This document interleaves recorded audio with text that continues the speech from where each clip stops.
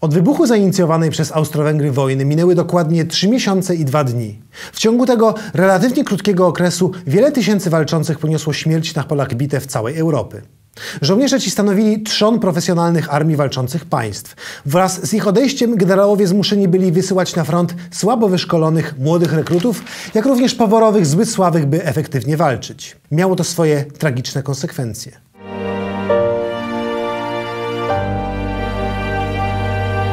Nazywam się Marek Kamiński. Witajcie w historii wojny nieznanej. Podczas naszego ostatniego spotkania przyglądaliśmy się odwrotowi sił niemieckich spod Warszawy, jak również nieudanemu atakowi Austrii na siły rosyjskie pod Dęblinem. W owym czasie Brytyjczycy rozpoczęli walkę pod Ypres, zadając atakującym ich Niemcom dotkliwe straty. Oto, co wydarzyło się później. Na froncie zachodnim szef sztabu Niemiec Falkenhayn uformował armię nowych rekrutów, chcąc skierować ją na teren Flandrii pod Ypres. Nieposiadający odpowiedniego wyszkolenia niemieccy rekruci, przeciwstawieni w pełni profesjonalnej armii brytyjskiej, padali jak muchy, maszerując wprost pod ogień karabinów maszynowych. Tragiczne konsekwencje ataku nie powstrzymały jednak fali nowych rekrutów, którzy pomimo wielkich ofiar bardzo powoli postępowali naprzód. W efekcie dnia 24 października przekroczyli oni rzekę Iser. Wydarzenie to mogło mieć bardzo negatywne konsekwencje dla Belgów. Dawało bowiem Niemcom szansę na zyskanie dostępu do morza. Dowództwo sztabu Belgii zasugerowało odwrót. Król Albert nie zgodził się jednak na ten manewr. Sytuacja wymagała drastycznego rozwiązania. Po starciu okupionym życiem 20 tysięcy żołnierzy belgijskich takie rozwiązanie nadeszło. W szczytowym momencie przypływu bramy Newport zostały otwarte, co zaowocowało zalaniem znacznego obszaru, który tym samym stał się niemożliwy do pokonania dla armii niemieckiej. Dzięki temu posunięciu lewa flanka wojsk sprzymierzonych została zabezpieczona. Król Albert natomiast za skuteczne przeprowadzenie tak śmiałego planu stał się bohaterem narodowym. W ramach anegdoty chciałbym przywołać tutaj postać Dorothy Fielding, brytyjskiej arystokratki pracującej jako kierowca ambulansu polowego, która za swoją pracę na froncie zachodnim jako pierwsza kobieta w historii nagrodzona została brytyjskim medalem wojskowym za odwagę na polu bitwy. Dodatkowo otrzymała ona również francuski krzyż wojenny oraz belgijski order Leopolda II. Patrząc z perspektywy czasu, niemieckie marzenia tamtego okresu o dotarciu do morza były równie nierealne, co brytyjskie nadzieje o zepchnięciu Niemiec w głąb terytorium Belgii. Falkenhayn, dowodzący ofensywą na Klin Ypres, przekonany był o możliwości stworzenia wyłomu. De facto 27 października pod Neuf-Chapelle prawie mu się to udało. Został jednak zmuszony do odwrotu rankiem dnia następnego. Nowi rekruci napływali jednak nieprzerwanym strumieniem, umożliwiając Falkenhaynowi planowanie kolejnych ofensyw. Dla dowodzącego siłami Niemiec Falkenhayna zajęcie leżącego nieopodal Geluwelt było niezbędnym preludium do ewentualnego wkroczenia na teren Ypres oraz w konsekwencji dojścia do morza. Zdając sobie sprawę z powagi sytuacji, francuski generał Foch zgodził się wysłać Brytyjczykom wsparcie. Dotarcie na właściwe pozycje wymagało jednak czasu.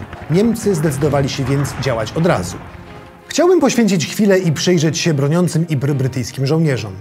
W momencie wybuchu wojny Wielka Brytania była jedynym europejskim krajem dysponującym w pełni zawodową armią, która mimo doskonałego wyszkolenia nie była traktowana zbyt poważnie, a to ze względu na jej niewielkie rozmiary. Mimo to w trakcie ostatnich trzech miesięcy Brytyjczycy wielokrotnie dali wyraz swoim imponującym umiejętnościom wojskowym. Moment rozpoczęcia starć pod Ypres wyznaczał jednak koniec brytyjskiej armii zawodowej, rozpoczynając okres poboru nowych rekrutów. Przyjrzyjmy się liczbom. Trzy miesiące temu John French miał pod sobą 84 bataliony liczące niemal 1000 żołnierzy każdy. Na początku listopada jedynie 35 z tych batalionów miało w swych szeregach ponad 200 zbrojnych. 31 batalionów liczyło od 100 do 200 żołnierzy, a pozostałe 18 zostało dosłownie zdziesiątkowane, licząc po mniej niż 100 walczących. W tym okresie nie tylko Brytyjczycy zmuszeni byli uciekać się do pozyskiwania nowych rekrutów. Podczas szturmu na Ypres Niemcy rzucili do walki dziesiątki tysięcy niedoświadczonych żołnierzy, co zaowocowało katastrofalnymi stratami. Brytyjczycy z racji posiadania rozległych kolonii byli w stanie sporadycznie wspomagać się rekrutami ściąganymi z terenów całego imperium. Podobnie rzecz miała się w przypadku Rosji, która uzupełniała niedobory we własnych szeregach, ściągając żołnierzy z terenu Syberii oraz Azji Centralnej.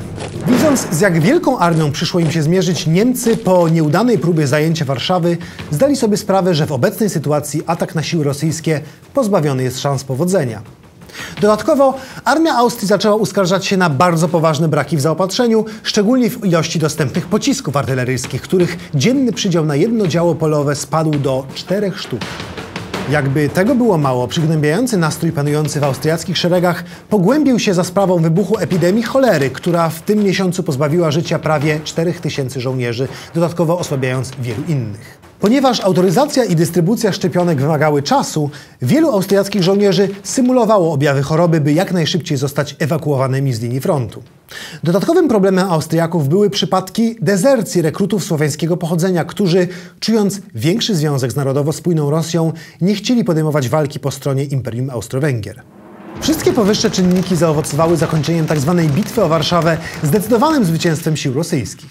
Zarówno siły Austrii, jak i Niemiec zostały zepchnięte do pozycji, z których kilka tygodni temu podjęły one ofensywę.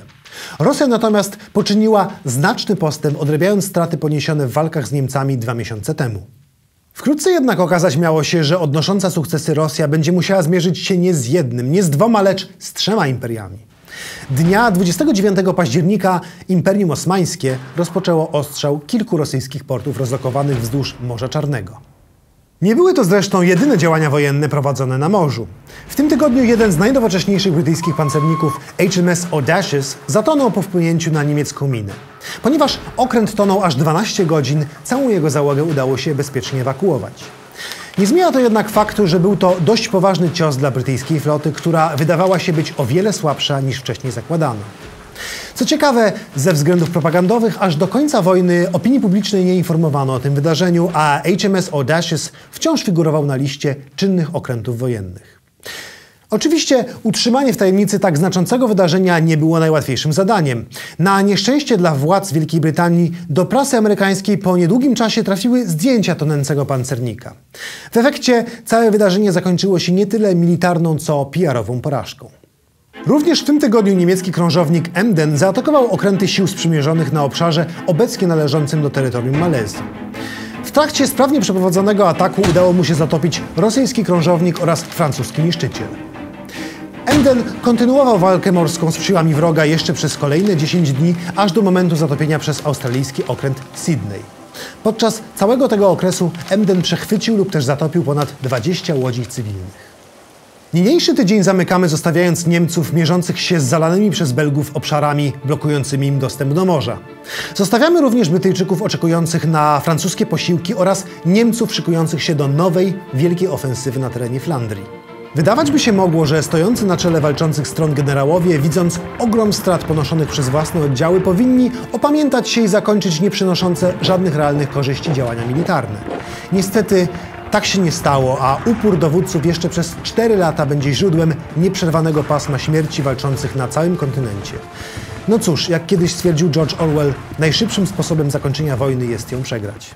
Jeżeli podoba Wam się nasza seria, nie zapomnijcie dać nam łapki w górę lub też zostawić komentarza pod filmem. Do zobaczenia w kolejnej części.